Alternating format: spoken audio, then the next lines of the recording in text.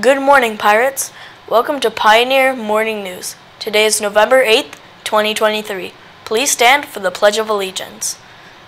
I pledge allegiance to the flag of the United States of America and to the republic for which it stands, one nation, under God, indivisible, with liberty and justice for all.